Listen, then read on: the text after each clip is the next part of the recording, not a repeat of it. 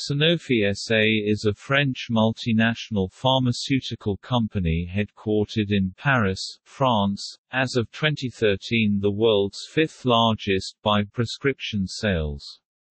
The company was formed as Sanofi Aventis in 2004 by the merger of Aventis and Sanofi Synthélabo, which were each the product of several previous mergers.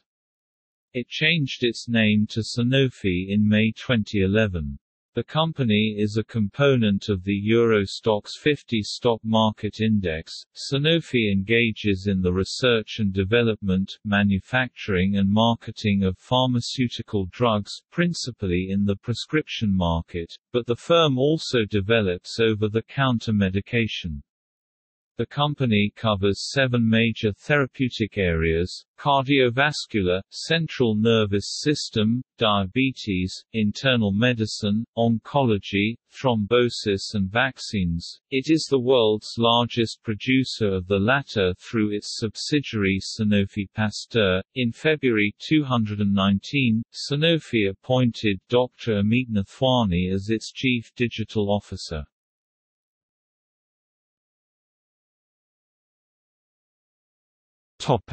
History Topic Sanofi Synthélabo Sanofi was founded in 1973 as a subsidiary of Elf Aquitaine, a French oil company subsequently acquired by Total, when Elf Aquitaine took control of the Labaz Group, a pharmaceutical company formed in 1947 by Société Belge de l'Azur des Produits Chimiques du Mali. Labaz developed benziodarone in 1957. In 1993 Sanofi made a move into the Eastern Europe market by acquiring a controlling interest in Chinoin, a Hungarian drug company that had about $104 million in sales in 1992. In that same year, Sanofi's made its first significant venture into the US, and strengthened its presence in Eastern Europe, by first partnering with Sterling Winthrop and then acquiring the prescription pharmaceuticals business in 1994.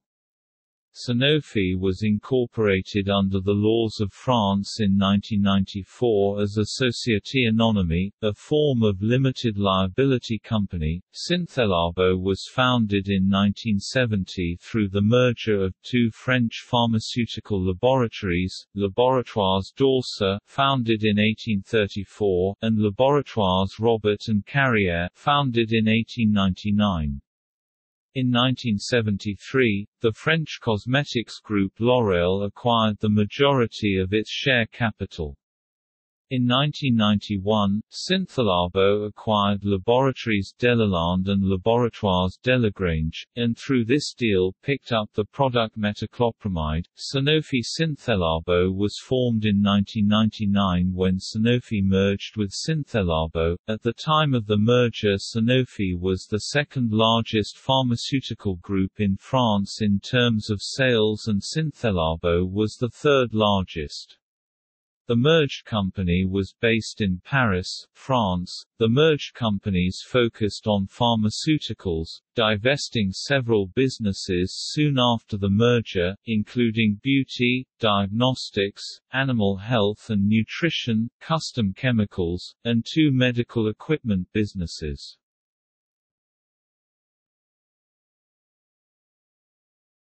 Topic: Aventis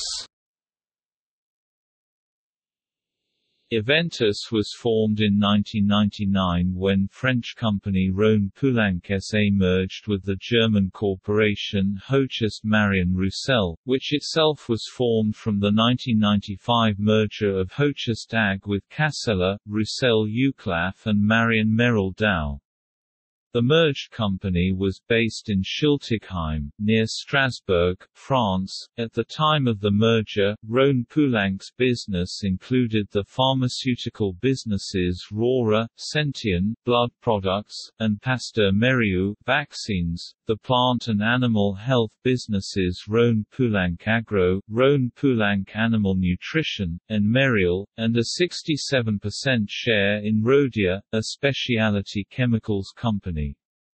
Hoechst, one of the companies resulting from the post-World War II split of IG Farben, had seven primary businesses, Hoechst Marion Roussel Pharmaceuticals, AgrEvo, a joint venture with Schering in crop protection agents and pest control products, HR Vet, veterinary products, Dade Behring, diagnostics, Centeon, Celanese, chemicals, and Messer, chemicals. Merieux has been in the business of selling blood products, and in the 1980s during the AIDS epidemic, Merieux and other companies were involved in scandals related to HIV-contaminated hemophilia blood products that were sold to developing nations. In mid-2000 Aventis and Millennium Pharmaceuticals, a U.S. biotechnology company formed to discover new drugs based on the then new science of genomics announced that Aventis would make a $250 million investment in Millennium and would pay $200 million to Millennium in research fees over five years, one of the largest such deals between a big pharmaceutical company and a biotech company at the time. In late 2000, in the midst of the recall of Starlink, its genetically modified maize product, Aventis announced that it had determined to sell off Aventis CropScience, the seed and pesticide business unit it had created from the agriculture businesses of its predecessors. In October 2001, Bayer and Aventis announced that Bayer would acquire the unit for about $6.6 billion, with the unit becoming Bayer CropScience and making Bayer the world's second largest agrochemical company behind Syngenta. In 2003, Aventis entered into a collaboration with Regeneron, a New York biotechnology company, to develop Regeneron's VEGF-inhibiting drug, aflibercept, in the field of cancer, which was then in Phase 1 clinical trials. Aventis invested $45 million in Regeneron and made an upfront payment of $80 million in cash. Regeneron partnered the drug with Bayer Healthcare in the field of proliferative eye diseases, and under the name Eylea it was approved by the FDA in 2011. After several setbacks in clinical trials, Regeneron and Sanofi got the drug approved in metastatic colorectal cancer in combination with other agents, under the brand name ZALTRAP in 2012.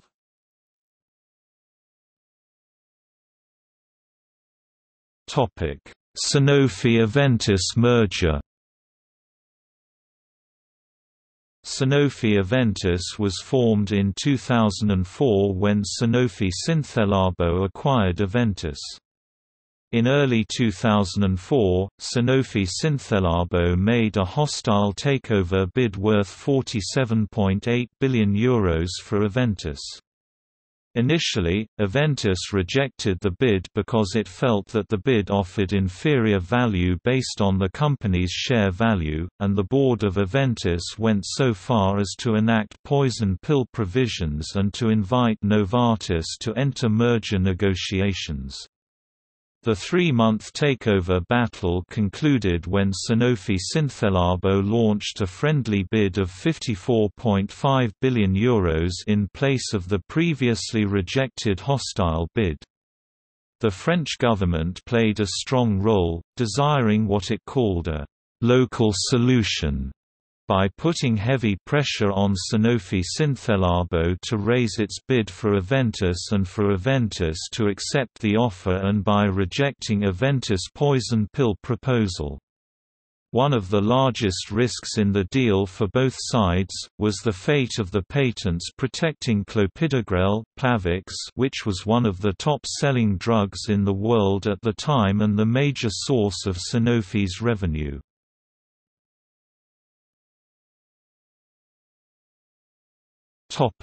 Post-merger activities. In 2006, Iraqis infected with HIV sued Sanofi and Baxter due to HIV-contaminated hemophilia blood products sold by Merieux in the 1980s. In 2006 the U.S. patents on clopidogrel, Plavix, were challenged when a Canadian generics company, Apotex, filed an abbreviated new drug application under the Hatch-Waxman Act, received FDA approval, and started marketing a generic clopidogrel.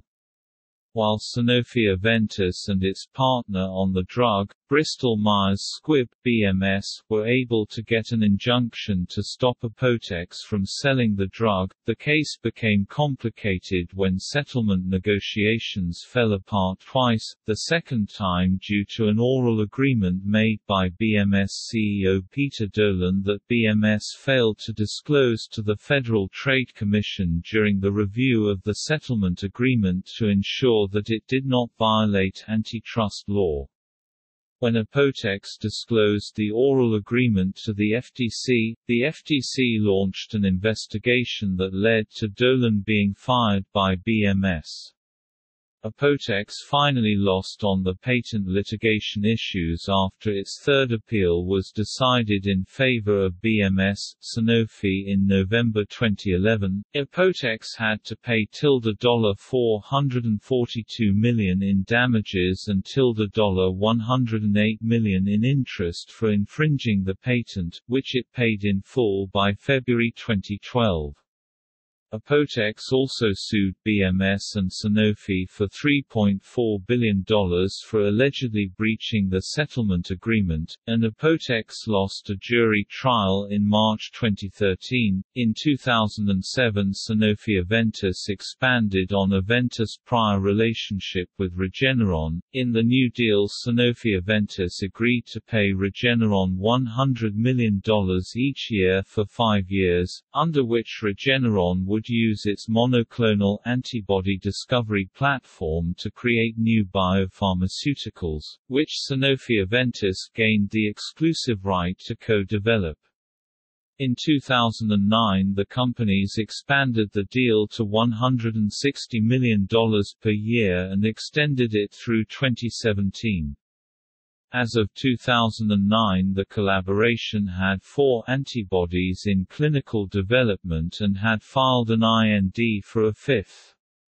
Two were against undisclosed targets, one targeted the interleukin-6 receptor as a treatment for rheumatoid arthritis, another targeted nerve growth factor for the treatment of pain, and another targeted delta-like ligand 4 as a treatment of cancer. Between 2008, when Chris Viehbacher was hired as CEO, and 2010, the company spent more than $17 billion in mergers and acquisitions to strengthen its consumer healthcare and generics platforms, especially in emerging markets, in the face of looming patent cliffs and the growth of the consumer healthcare segment.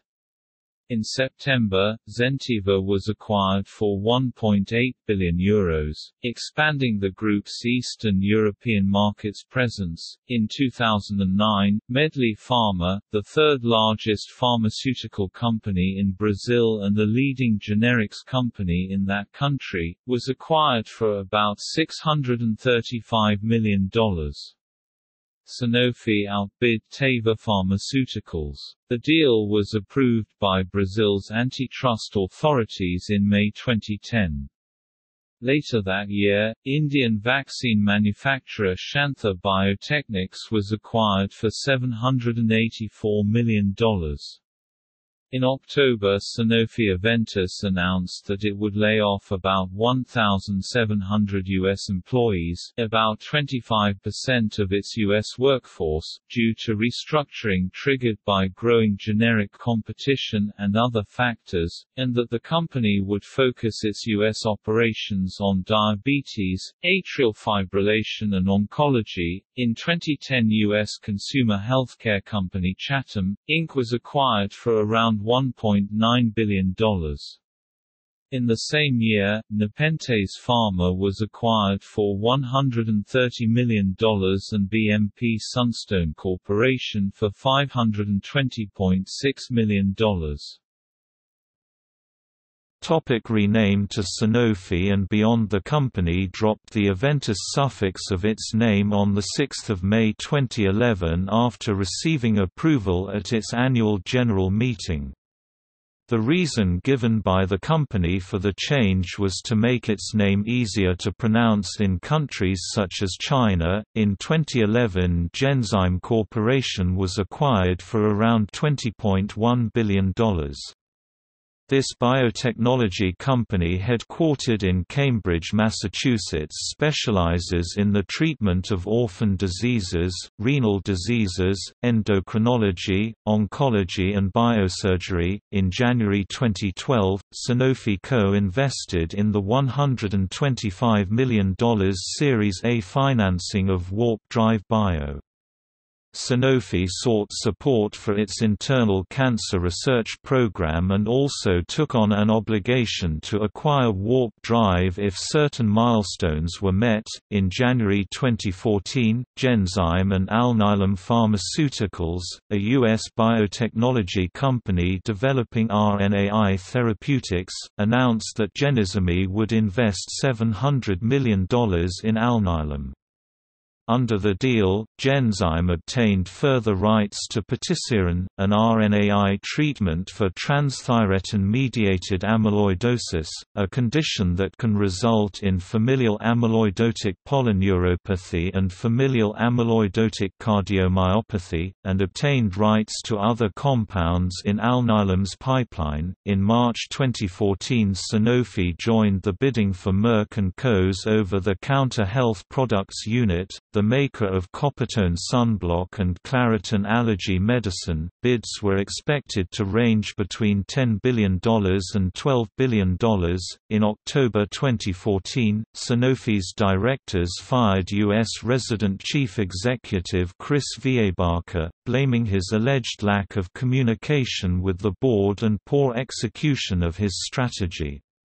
Board chairperson Serge Weinberg took over as interim CEO until 2 April 2015 when Bayer Healthcare Board chairperson Olivier Brandicourt appointed by Sanofi on 19 February 2015 took over. Before Brandicourt even started his new job, French government ministers Stéphane Le Foll and Ségolène Royal attacked the $4.5 million golden handshake he was getting from Sanofi, and his pay of about $4.7 million a year. Further, in 2014, the business took a 66% stake in Global Pharma, Dubai-based generics manufacturer. In July 2015, Genzyme announced it would acquire the rare cancer drug Caprelsa vandetanib from AstraZeneca for up to $300 million. In the same month in July 2015, the company announced a new global collaboration with Regeneron to discover, develop, and commercialize new immuno-oncology drugs, which could generate more than $2 billion for Regeneron, with $640 million upfront, $750 million for proof of concept data and $650 million from the development of REGN2 2810. In June 2016, the company announced it had struck an asset swap deal with Boehringer Ingelheim. Sanofi would sell its Merial Animal Health division, valuing it at 11.4 billion euros, whilst acquiring Boehringer's Consumer Health division, valuing it at 6.7 billion euros and 4.7 billion euros in cash. The deal means Sanofi is now one of the global consumer healthcare leaders by market share. In July 2017, the company announced its intention to acquire Protein Sciences, a privately held, Connecticut-based vaccines biotechnology company, for $650 million and with up to $100 million in milestone achievements. In January 2018, Sanofi announced that it would acquire Bioverativ for $11.6 billion and days later announced it would acquire Ablynx for €3.9 billion, Euros $4.8 billion.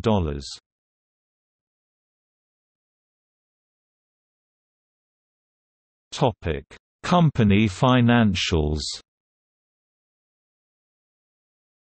Note: In 2001, 2004, Sanofi Synthélabo in 2004, 2011, Sanofi Aventis.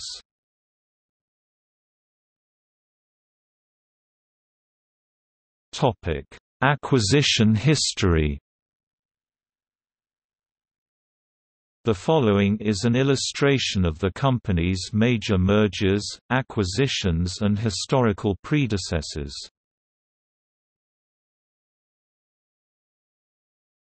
Topic: Products.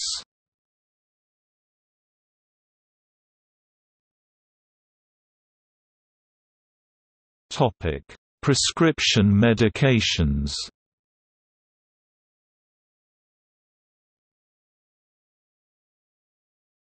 Topic: Autoimmune. Epinephrine autoinjector AUVIQ in the US and Allerject in Canada, licensed from IntelliJect and approved by the FDA in 2012 for emergency treatment of life-threatening allergic reactions. Teriflunomide, Aubagio, small molecule for multiple sclerosis. Approved by the FDA in September 2012, product recall and effects, the epinephrine auto-injection devices made by Sanofi SA currently on the market in the US and Canada were voluntarily recalled on 28 October 2015. The reason stated by Sanofi was that the products have been found to potentially have inaccurate dosage delivery, which may include failure to deliver drug. Sanofi US also added the following warning if a patient experiencing a serious allergic reaction i.e., anaphylaxis, did not receive the intended dose, there could be significant health consequences, including death because anaphylaxis is a potentially life-threatening condition. In its news release on 28 October 2015, Sanofi Canada stated that it was actively working with suppliers of alternative epinephrine auto-injectors to have a full stock available in Canada as soon as possible. Canadian customers were asked to immediately return the Allerject product to their local pharmacy to obtain an alternate epinephrine auto-injector. The U.S. Food and Drug Administration also filed a news release confirming that the recall involves all AUVIQ currently on the market in the U.S. The FDA release went on to provide information for consumers re-exchanging the device for another brand of product, also provided on the AUVIQ website. Sanofi US will provide reimbursement for out-of-pocket costs incurred for the purchase of new, alternate epinephrine auto-injectors with proof of purchase. The alternate products expected to most commonly replace the recalled Sanofi devices are the EpiPens made by Mylan in the US and by Pfizer—under license from Mylan—in Canada. Mylan already had an 85% market share of the auto-injectors in the US in the first half of 2015.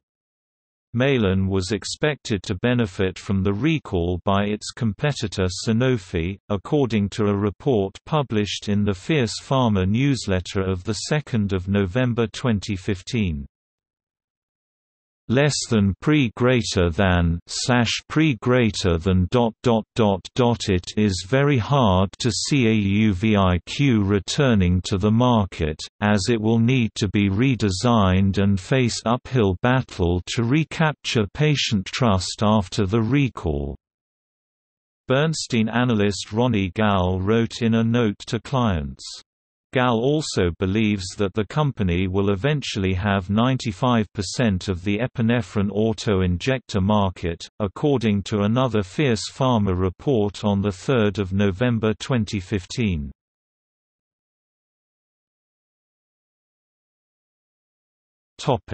Cardiovascular clopidogrel, Plavix, Iscover for atherothrombosis Enoxaparin Lovenox, Clexane for thrombosis its biggest seller in 2008 Mipomersen Kynamro, an antisense drug invented by Isis Pharmaceuticals and acquired by Genzyme in 2008 pre-Sanofi and approved by the FDA in 2013 for the orphan disease homozygous familial hypercholesterolemia. Irbesartan, Aprovel, Avapro, Karvea, and Ramipril, Delix, Triatec, Tritase for hypertension, Alirocumab, Praluent for heterozygous familial hypercholesterolemia and clinical atherosclerotic cardiovascular disease. Dupilumab, Dupixent for atopic disease. Topic: Infectious disease. Antibiotics. Cefotaxime, Claforan. Rifampicin, Priftin. Levofloxacin, Tavanic Amoxicillin, clavulanic acid, amoxicillin Vaccines. Bacterial diseases. Cholera Diphtheria Haemophilus influenza type B Meningococcal infections Menactra Pertussis pneumococcal infections tetanus tuberculosis typhoid fever viral diseases hepatitis A hepatitis B influenza Japanese encephalitis IXIARO measles mumps poliomyelitis rabies rubella varicella yellow fever Smallpox, eradicated in 1980, vaccine produced as a measure in response to the threat of bioterrorism. Topic: Metabolic Glimepiride, Amaryl, for type 2 diabetes mellitus. Human insulin, Insuman, for type 1 and type 2 diabetes mellitus Insulin glulisine, Apidra, and insulin glargine, Lantus, for diabetes. Risedronic acid, Actonel, for osteoporosis and Paget's disease. Sevelamer hydrochloride, Renagel and Renvela, for end-stage renal disease.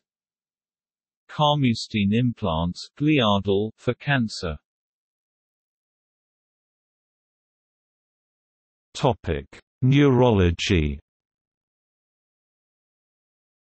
Sodium hyaluronate, for blood tests. Valproic acid Depakine and valproate semisodium for epilepsy Zolpidem Ambien, Ambien CR, Myslee, Stilnoct, Stilnox, Zolfresh, Zolt for insomnia Alemtuzumab Lemtrada for multiple sclerosis Teriflunomide Aubagio for multiple sclerosis Topic: Oncology. Alfuzosin, Xatral, Uroxatral for benign prostatic hyperplasia. Cabazitaxel, Jevtana for prostate cancer. Plerixafor Mozobil, macrocycle approved by the FDA for peripheral blood stem cell mobilizer for non-Hodgkin's lymphoma and multiple myeloma in December 2008 Aflibercept ZALTRAP recombinant fusion protein, approved in metastatic colorectal cancer in combination with other agents in 2012 Clomifene, Clomid for female infertility. Docetaxel Taxotere for breast, lung and prostate cancer. Oxaliplatin Eloxatin for colorectal cancer. Sarilumab Kevzara for blood tests, lung and prostate cancer. Vandetanib Caprelsa for breast, colorectal cancer and female infertility Topic. Pain Codeine Solpadol for chronic pain. Ketoprofen Bi-Profenid for pain. Topic. Diabetes Toujeo insulin glargine for type 1 and type 2 diabetes mellitus Lantus insulin glargine for type 1 and type 2 diabetes mellitus. Apidra insulin glulisine for type 1 and type 2 diabetes mellitus. Topic. Over the counter Fexofenadine Allegra, Telfast and triamcinolone for allergic rhinitis Paracetamol Novaldol Calcium carbonate Maalox, and antacid. The company also produces a broad range of over-the-counter products, among them Allegra, IcyHot for muscle pain, Gold Bond for skin irritation, and Selsun Blue dandruff shampoo. These brands were acquired in 2010 when Sanofi Aventis purchased Chattem.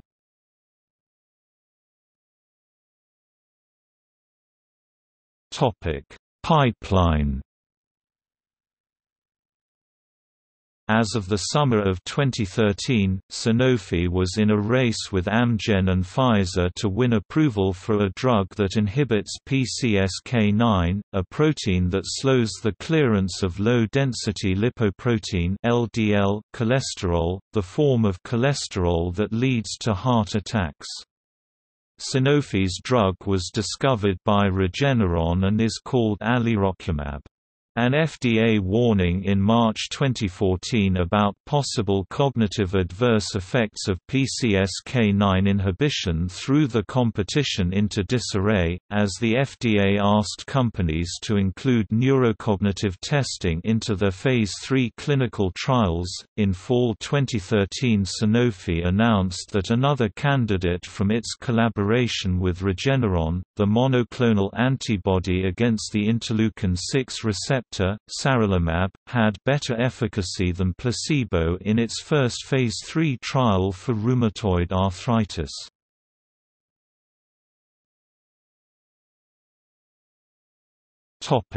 Management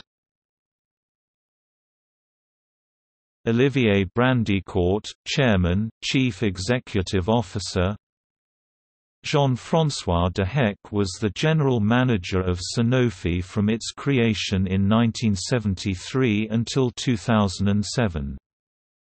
After a two-month search, Sanofi has its replacement for longtime CFO Jérôme Contamine, who is retiring at the end of September. The drugmaker is bringing on Jean-Baptiste Chasseloup de Châtillon, formerly the CFO of French automaker PSA Group, for the role.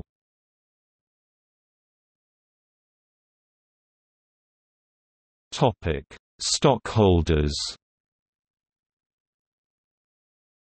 As of 31 December 2013, Breakdown of share ownership: 8.93% by L'Oréal, 0.27% treasury shares and 1.31% employees.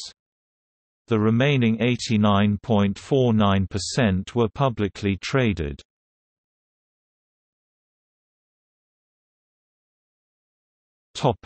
Head office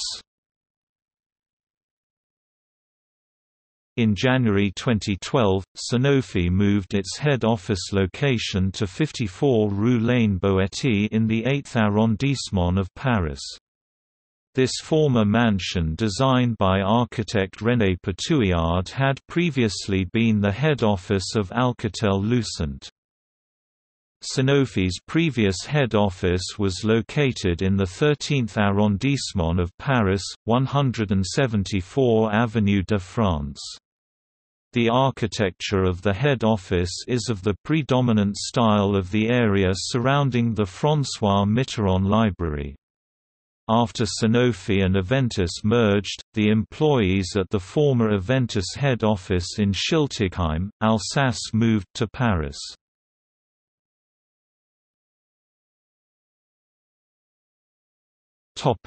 Collaborative research In addition to internal research and development activities Sanofi is also involved in publicly funded collaborative research projects, with other industrial and academic partners.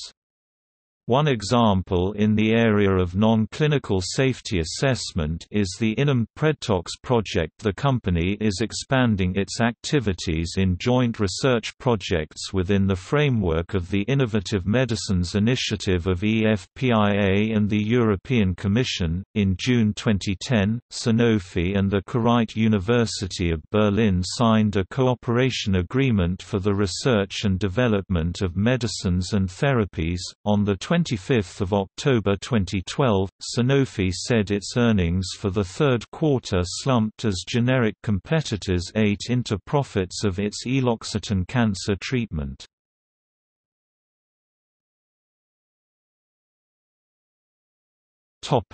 Sanofi Pasteur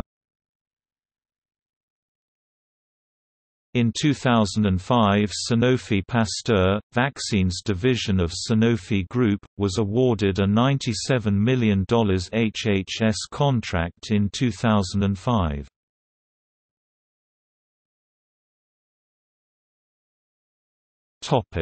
BCG supply shortage 2012 In the fall of 2011 a Sanofi Pasteur plant flooded, causing it problems with mold. The facility, located in Toronto, Ontario, Canada, produced BCG vaccine products, made with the Glaxo 1077 strain, such as a tuberculosis vaccine ImmuCyst, a BCG immunotherapeutic a bladder cancer drug. By April 2012 the FDA had found dozens of documented problems with sterility at the plant including mold, nesting birds and rusted electrical conduits. The resulting closure of the plant for over two years resulting in shortages of bladder cancer and tuberculosis vaccines.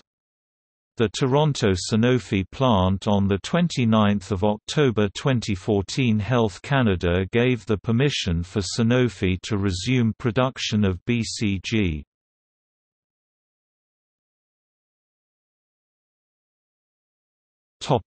Associations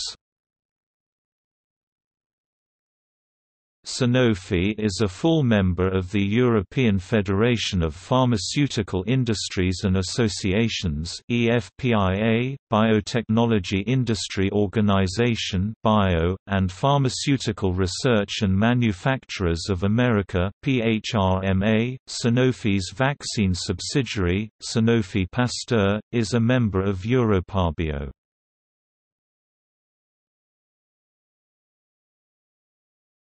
Topic: Aventis Foundation.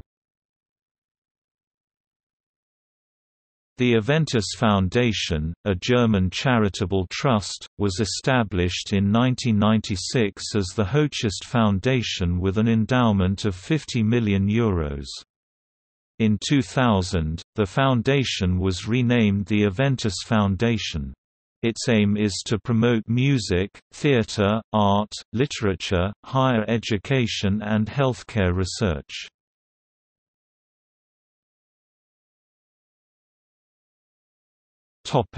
See also Aventis Pharma Sanofi Biogenius Canada Notes